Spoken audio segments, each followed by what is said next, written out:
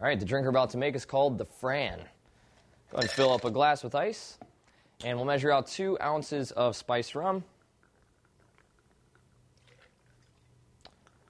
And follow that up with two ounces of Yukon Jack. No shortage of alcohol in this drink so far. Follow that up with two dashes of pepper sauce. And two ounces of sour mix. And finally, top it off with some cola. All right, grab your shaker and just pour it back and forth a couple times. That'll get it stirred up real well.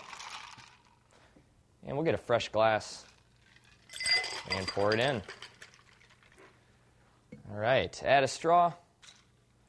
And that is how you make the Fran. Bottoms up.